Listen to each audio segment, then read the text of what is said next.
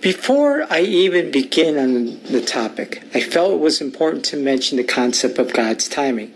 How many times has someone said to you, well, it's all in God's timing? But what does that mean? I have heard, though they do not know exactly, but Job went through close to two years of trial before his breakthrough. Also, the children of Israel were over 400 years in bondage. Yet, from the time Moses talked to the leaders of Israel until they left Egypt, it was not weeks, it was months.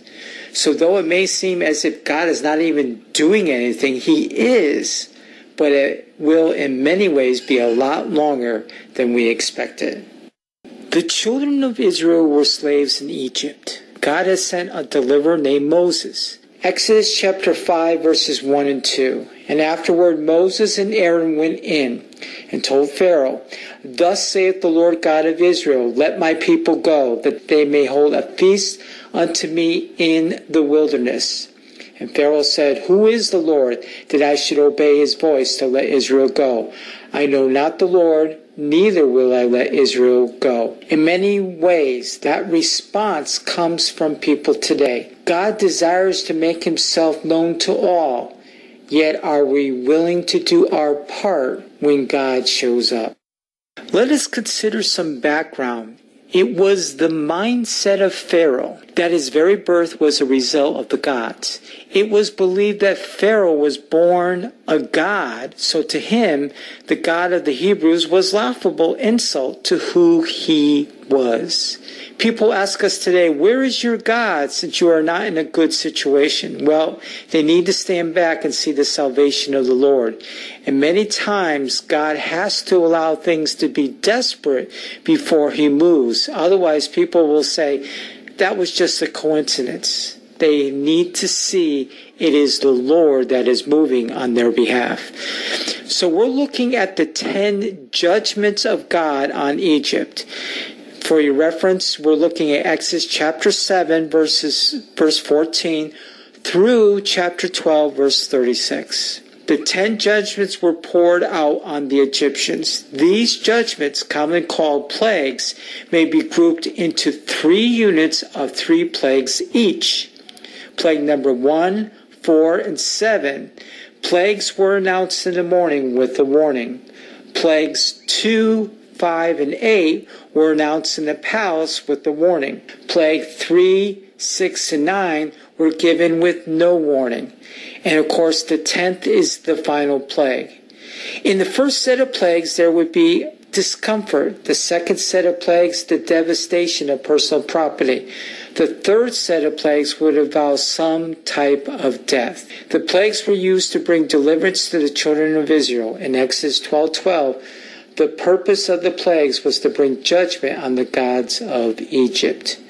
However, unknowingly overlooked, it's the principle that both Egypt and Israel would know the Lord. Now, there were no clear cut patterns to the gods of Egypt. Some were kind of like multitasking and did many things, while some may be a god of one particular thing also depending on where you live there was different gods for each region that would be worshipped even though they had the same function. So the north part of the of the Nile may be controlled by a different god than the southern part. The view of gods was that of te- of that of a certain territory and a plurality in number as we will see by the first plague now there were three popular gods that were worshipped as the gods of the Nile. Quote, the plagues brought upon the land of Egypt served not only to demonstrate the inability of the king of Egypt, his priest, and the people to resist the power of God, but it served as a visual lesson to Israel regarding the worthless, the worthlessness of idolatrous forms of worship. Page 98 from the book Studies in Exodus by John J. Davis. And I will be quoting from some sources online, which I may not mention, but this book I highly recommend concerning this section on the plagues and even the, the rest of the book of Exodus. So, the first plague, the great river, the Nile, will be turned to blood, and this will last for seven days. Exodus chapter 7 verse 17. Thus saith the Lord, In this thou shalt know that I am the Lord. Behold, I will smite with the rod that is in mine hand upon the waters which are in the river, and they shall be turned to blood. The first plague happened in the morning, verse 5. The first principle that we can see is that they shall know that I am the Lord. Whatever God needed to be, He will be because He is the great I am. He's not limited to any particular task or territory. The Nile was considered as the source of life to the Egyptians, kind of like the smartphone is the source of life to teenagers today. The three most popular gods of the Nile were one, Hapi. This obese Hapi, one of the children of Horus, he had a big belly, breasts like a woman, and made sure the Nile would overflow every year to help the soil be rich. Every year, when the Nile would flood, it would be considered the manifestation of Hapi. However, Hapi after this plague was not too happy and was cons- considered disgusting to the Egyptians, and thus the first thoughts of doubt would occur. Exodus 7, chapter 7, verse 18 says, And the fish that is in the river shall die, and the river shall stink, and the Egyptians shall loathe to drink of the water of the river. So one would wonder what is going on with Hapi. The second one is Osiris, not Miley Cyrus, but Osiris. This was the god of the underworld. Since the Nile was considered his blood flowing to bring life, this plague would cast doubt on the real health of this god.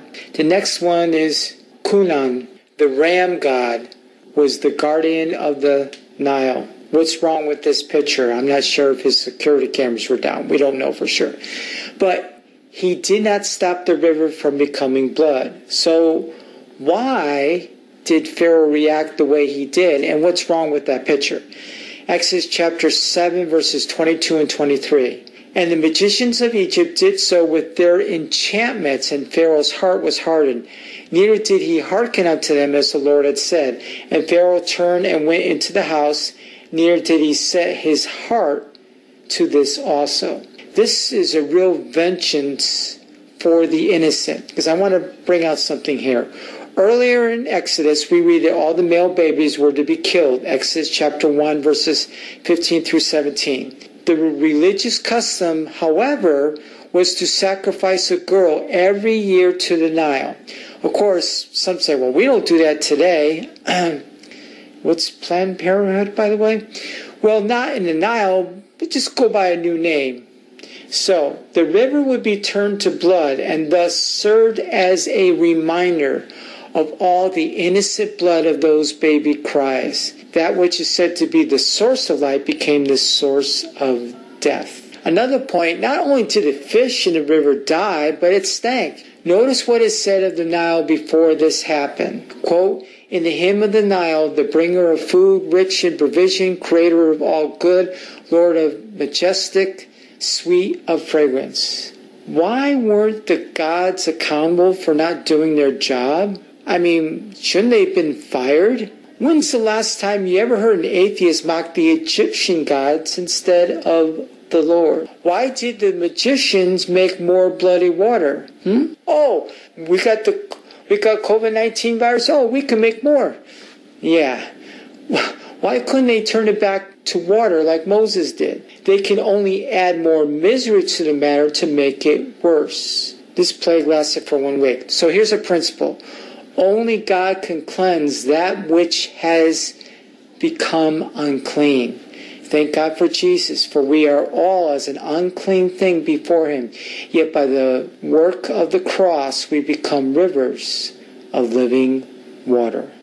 The second plague is the plague of frogs. Exodus chapter 8, verses 1 and 2. And the Lord spake unto Moses, Go unto Pharaoh and say unto him, Thus saith the Lord, Let my people go, that they may serve me. And if thou refuse to let them go, behold, I will smite all the borders or territory with frogs.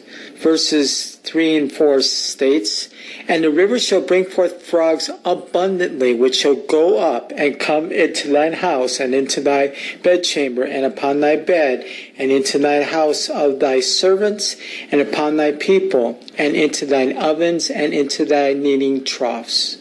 And the frogs shall come up both on thee, and upon thy people, and upon all thy servants.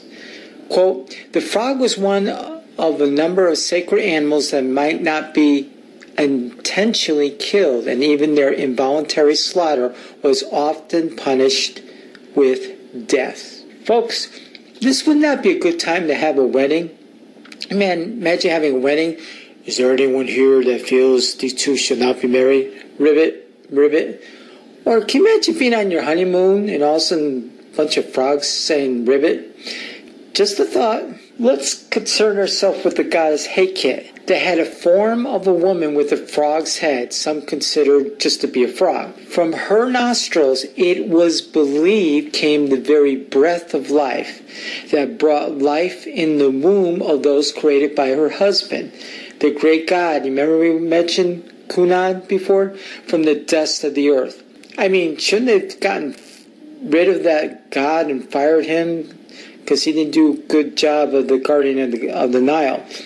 Now, she was the goddess that assisted with childbirth.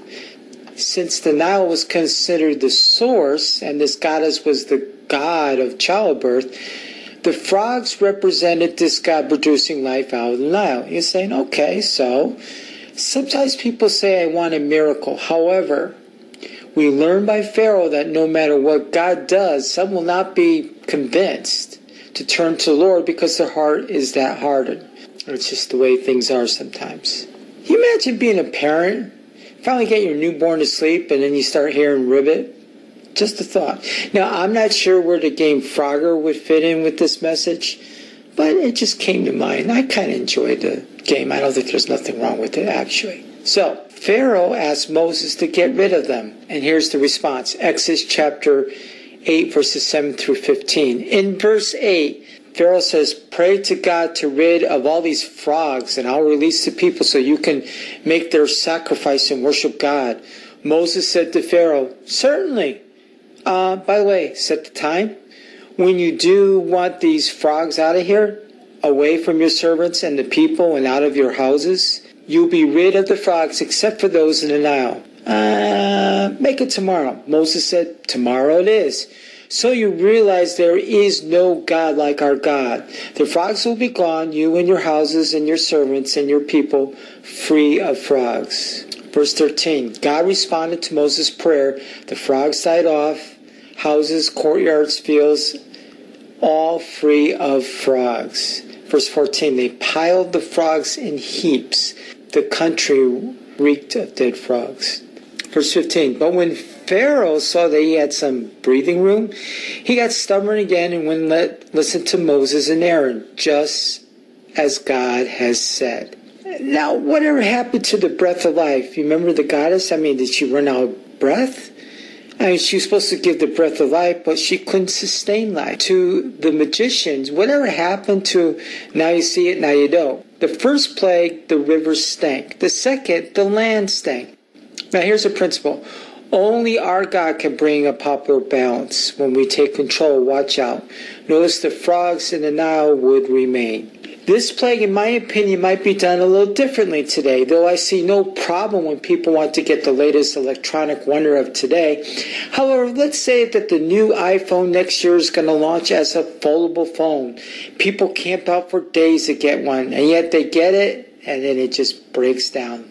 The very thing they love now would hate. Quote, a special interest in the dialogue is the fact that Moses requested Pharaoh to name the time when this plague should end, a deed not even attempted by the magicians.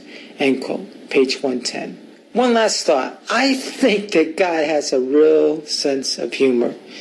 It occurred to me as I was studying that the next plague involved that which the frogs eat. Just kind of a sense of humor.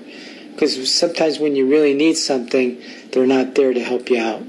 So let's look at the third plague, the plague of lice or gnats. Exodus chapter 8, verses 16 and 17. And the Lord said unto Moses, Say unto Aaron, Stretch out thy rod and smite the dust of the land, that it may become lice throughout all the land of Egypt.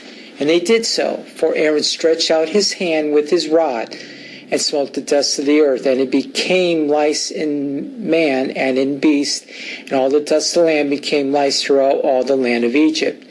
This plague came without warning. Gnats creep into the eyes and nose, and they have a sting that causes a painful irritation.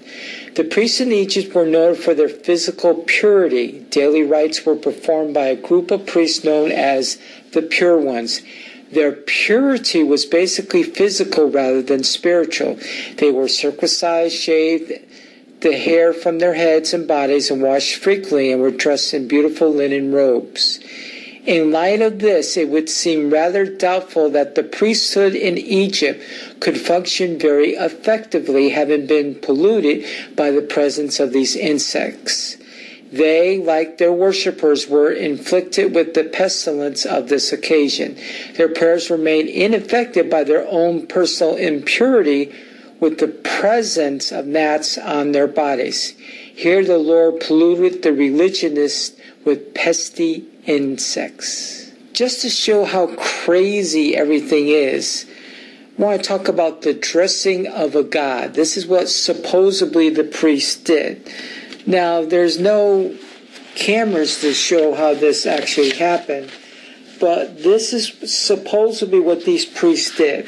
Check this out from the book by John J. Davis, Study in Exodus, and check out what it says. It's quite interesting. Every morning, the priest entered the Holy of Holies, making sure the door was bolted. He would open the door and see the God who was supposed to have slept during the evening. I didn't realize God slept. He would wake up and present him with various garments, including headdresses and insignias, and then proceeded to dress him. After the god had been dressed, he ate the first meal. I don't know if they had Captain Crunch or what, folks.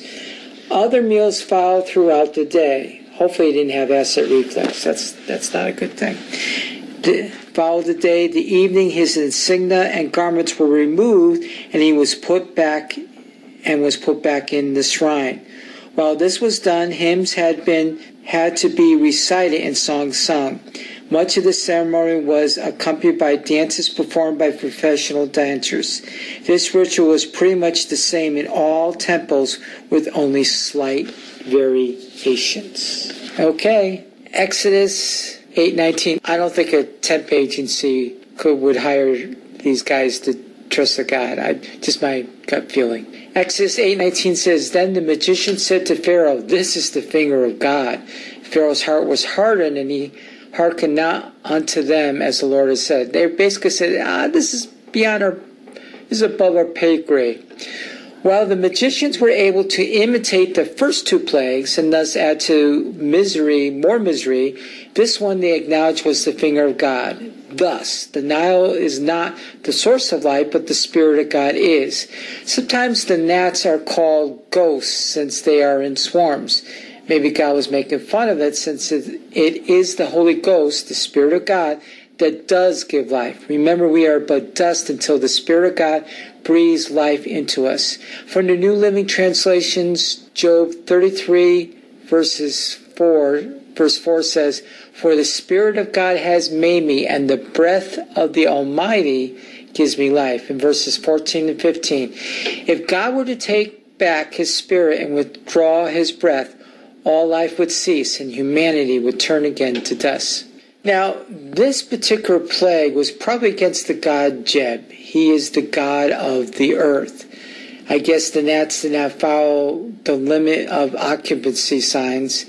They probably could not read the no trespassing signs either. By the way, Set, the god of the desert, we'll give him an honorable mention here. And of course, people say, well, we don't have a god of the earth today. I don't know. Al Gore, for some reason rings a bell. But anyway, principle only the Spirit of God and, and can sustain life. this concludes the first set of plagues. This would upset the comfort zone. So now let's consider the second set of plagues. In the next set of plagues, God will separate the children of Israel from the Egyptians. Thus, the children of Israel will not be affected by the plagues. These plagues would cause ruin to the Egyptians' personal property. The fourth plague is that of flies. Exodus chapter 8, verses 20 to 23. And the Lord said unto Moses, Rise up early in the morning and stand before Pharaoh. Lo, he cometh forth to the water. And say unto him, Thus saith the Lord, Let my people go, that they may serve me.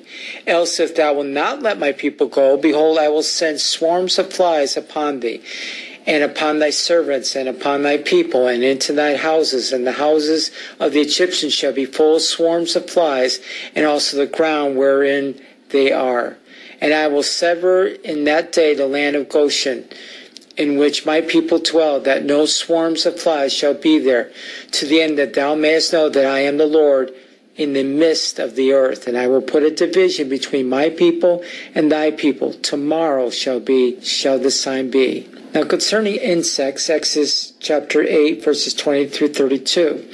The fourth plague was foretold to Pharaoh in the morning as he came out to the water. Doubtless for worship, it consisted of swarms of insects. Yet one of the most likely possibilities is pretty interesting. They had what they called a dung beetle.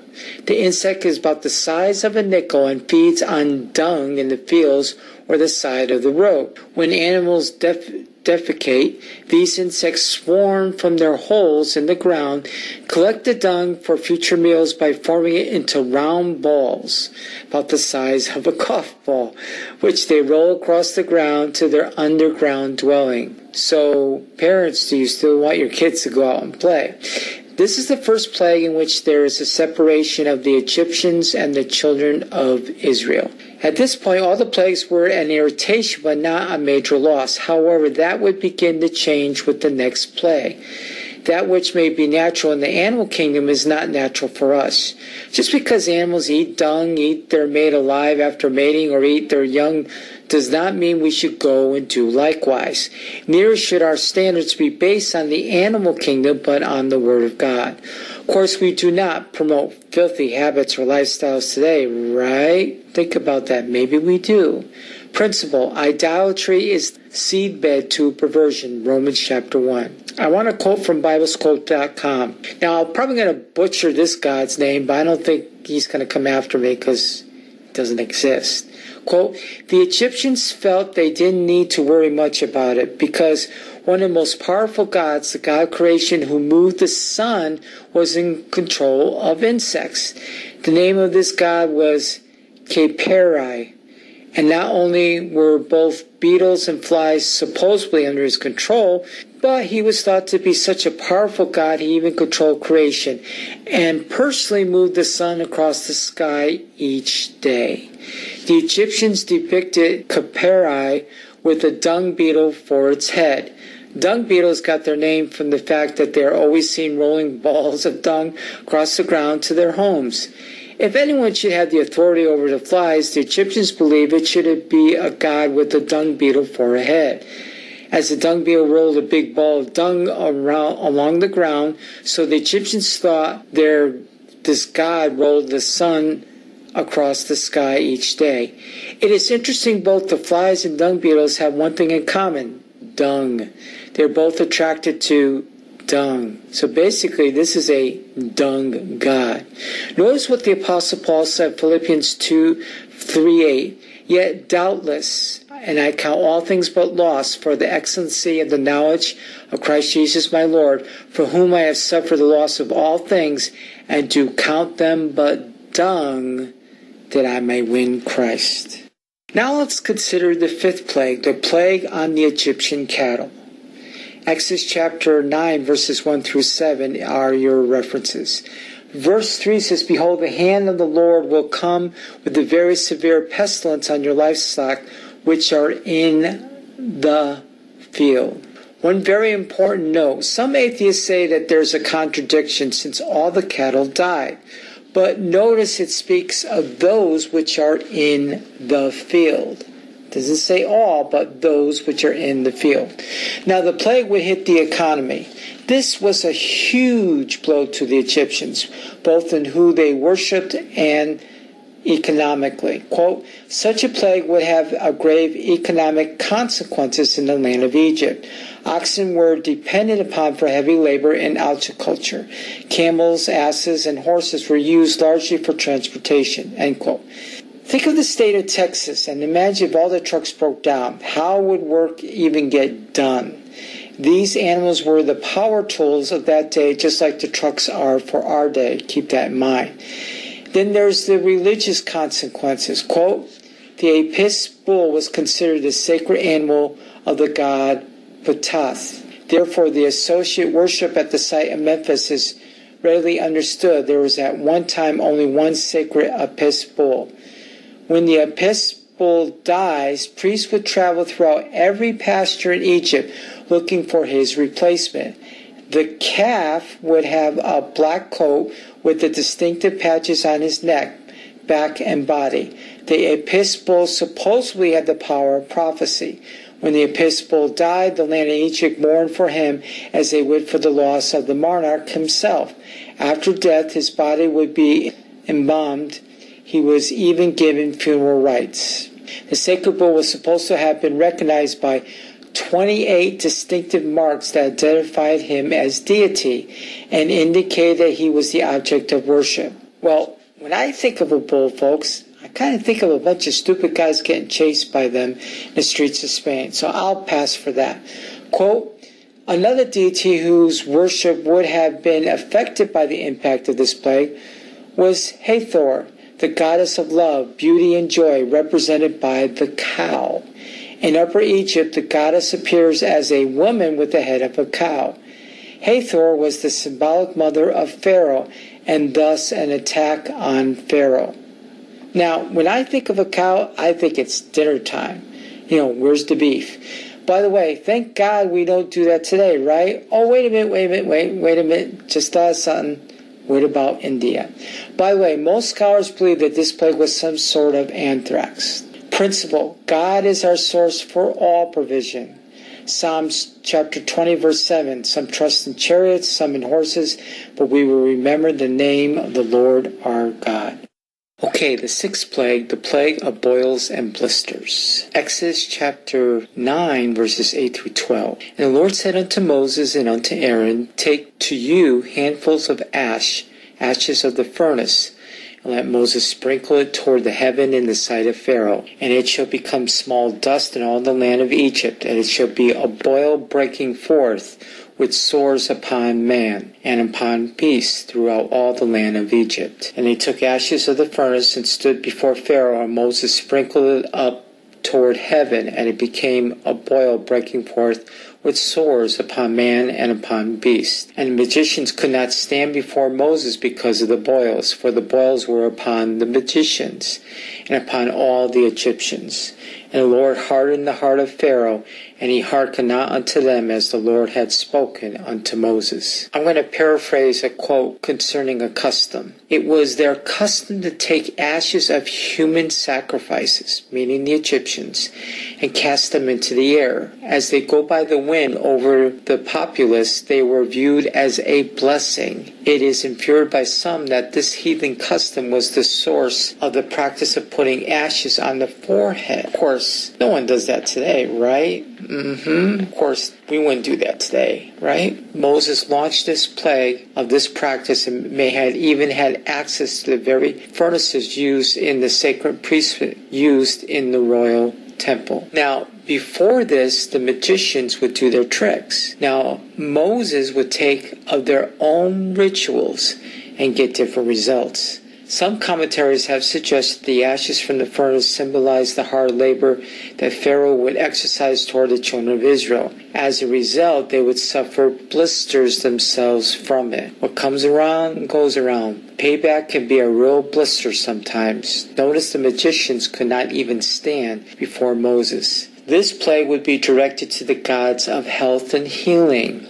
Their whole healthcare system just crashed. So here are some of the gods that this plague made a laughing stock of. Sekhmet a lion-headed goddess with an alleged power over disease. Do I hear malpractice lawsuit in the works? Another one is Serapis. He was a healing god in which some of the apostles dealt with at his temple. There were tables set aside for offerings, and it is possible what the apostle Paul referred to in 1 Corinthians 10 21.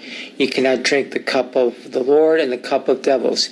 You cannot be partakers of the Lord's table and the table of devils. Maybe it sheds some light on communion, for it is in remembrance of him a non-mixture of idolatry that we protect. Then there's Imhotep. Some call him the god of medicine, and some scholars state he was a man that possibly used spells and potions to bring healing. There's not enough concrete information to make anything of him. And then there's Isis. Not those guys out in Iraq and Syria, but their most celebrated goddess, actually was their most celebrated goddess, was considered as a preventer or healer of all diseases. For this goddess used to reveal herself to people in their sleep when they labored under any disorder and afford them relief. Many who placed their confidence in her influence, according to the claim, were miraculously restored. Many likewise who had been despaired of and given over by the physicians on account of their condition were saved by this goddess. Numbers who had been deprived of eyes and of other parts of their bodies were all restored on their application to Isis. By this disorder, therefore, which no application to their gods could cure, and which upon the magicians also were supposed to possess most power influence, God confronted their pride, showed the folly of their worship, and the vanity of their dependence. The means by which these boils and sores were afflicted, the sprinkling of ashes from the furnace, was particularly appropriate. In several cities of Egypt, they were accustomed to sacrifice human beings which they burned alive upon a high altar. At the close of the sacrifice, the priests gathered the ashes of these victims and scattered them in the air. It was considered a blessing. The like was done by Moses with the ashes of the furnace, that wheresoever any, the smallest portion, it might prove a plague and a curse to this cruel, ungrateful people. Thus, there was a designated contract in the work contrasts in the working of the province that apparent opposition to the superstition of the times. Wow. But what's the principle we can learn from that? Be careful what you believe. It can be fatal to you and your loved ones. Okay, now we're going to look at the last set of plagues. Here we will see death for the first time.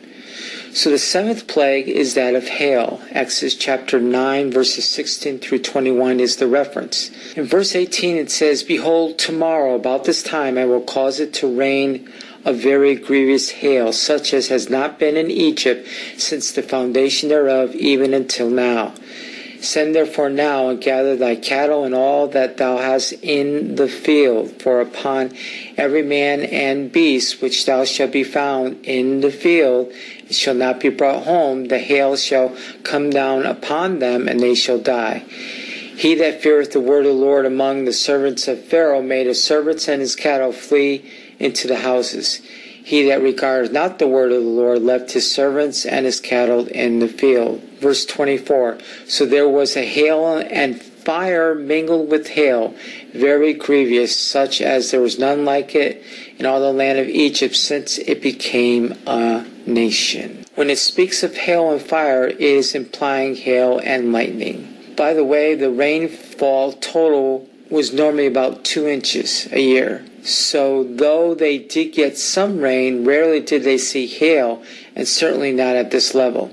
Now, the average annual rainfall for Dallas, Texas, for example, is 40 inches. Here's something to bring out according to my sources. The Egyptians used flax to make linen cloth that they preferred over wool.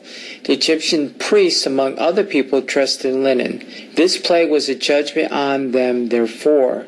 The Egyptians used barley to make beer and as animal food, but the poor people also ate it. So there goes the uniforms and there goes your Budweiser. So, some of the gods that would be humbled were Set. Remember the God of the desert? He was an honorable mention in the plague of gnats, has a second-hand job as the god of storms. And then there's Osiris, the god of crops and fertility. The same clown that was mentioned in the first plague as the god of the underworld, and that, quote, river Nile was his bloodstream, end quote. And then there's Nu, spelled nut, which he is a nut the sun goddess. She basically would stretch out like a semicircle with one end touching the ground with her fingertips and the other with her toes. Her dad would hold her up. As long as he held her up, there was calm. She was considered the mother of the sun and moon. Nu gives birth to the sun god daily, and he passes over her body during the day before being swallowed at night, only to be reborn the next morning. This goddess was supposed to protect their crops from the weather. And then, of course, there's the god Set. For Set, the hail was above his pay grade. Osiris did not even cover the crops, did not even bother to ask somebody for some garbage bag. Finally, Nu, or as spelled nut, lost all respect as a result of this plague. So she could swallow the sun and moon, but hail just swept her off her feet, literally.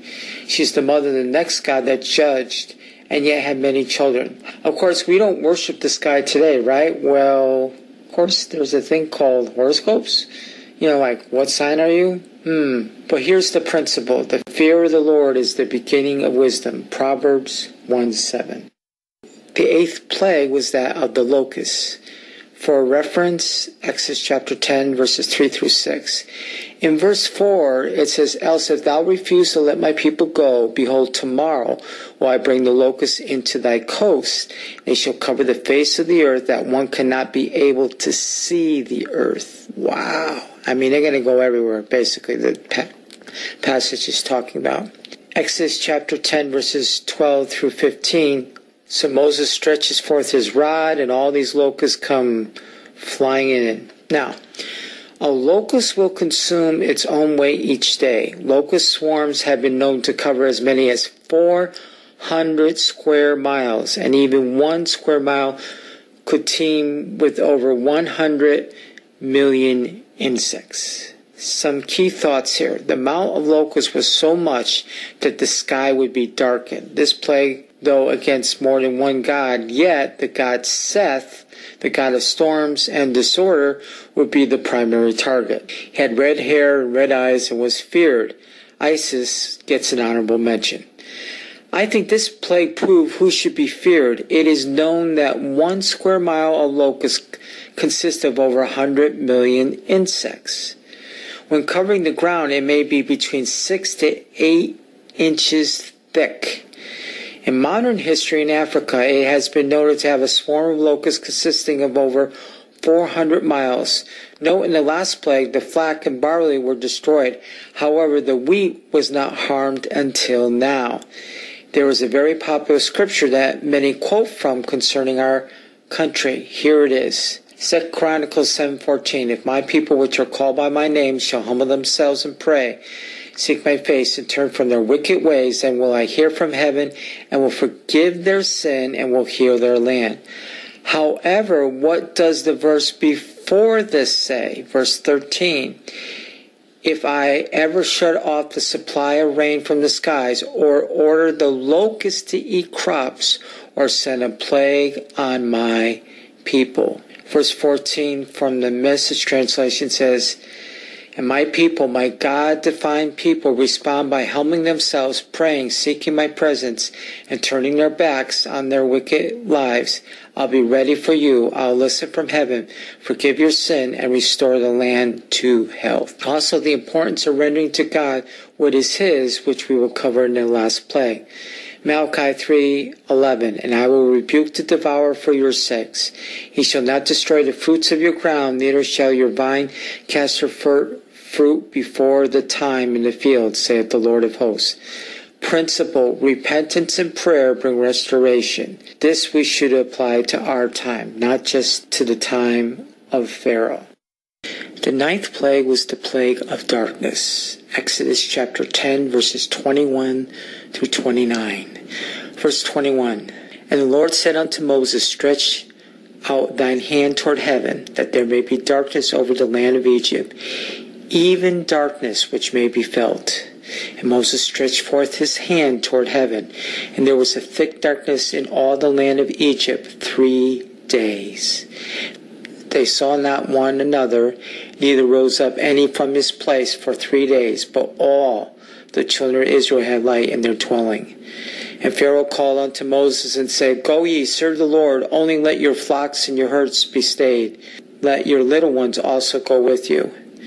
And Moses said, Thou must give us also sacrifices and burnt offerings, that we may sacrifice unto the Lord our God. Our cattle also go with us. There shall not even a hoof be left behind. For there, for thereof must we take to serve the Lord our God, and we must know with what we must serve the Lord until we come hither. But the Lord hardened Pharaoh's heart, and he would not let them go.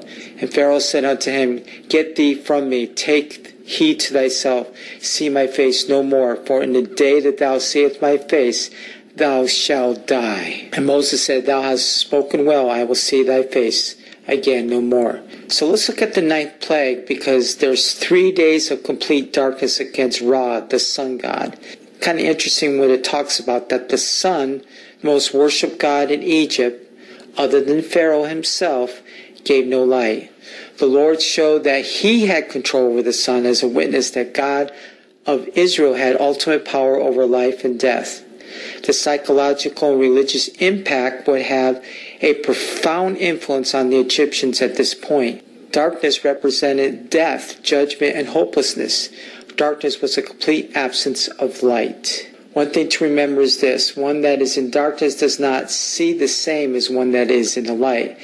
Thus, the reality that as clear as day is foolishness to them.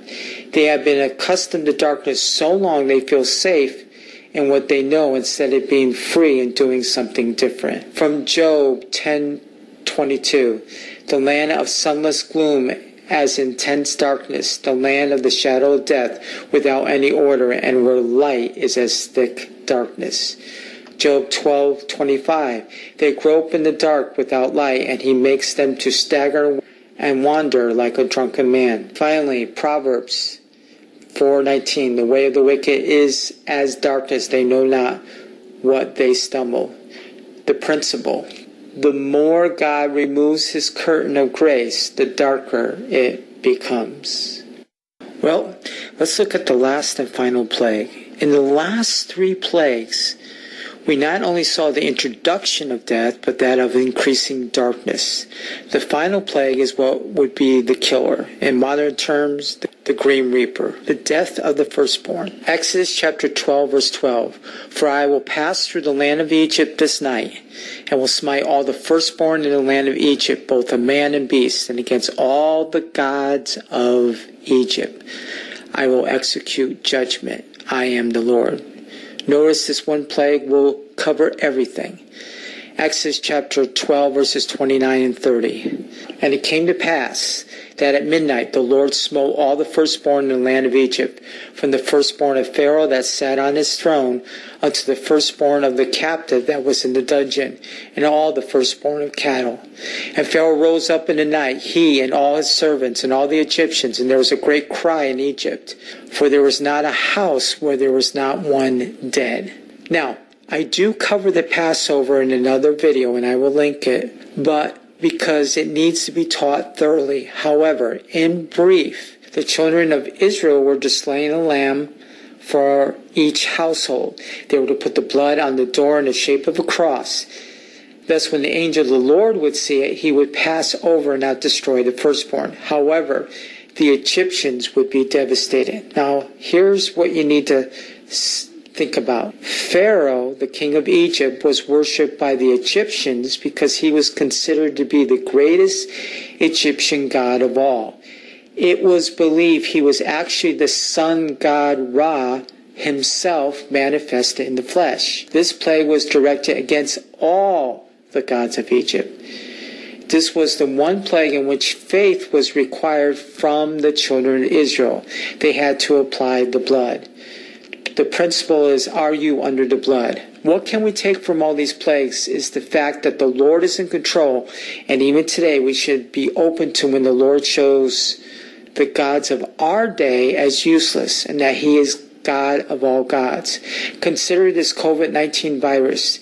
There will come a point when it will end, but the bigger question will be what will become of us when it does.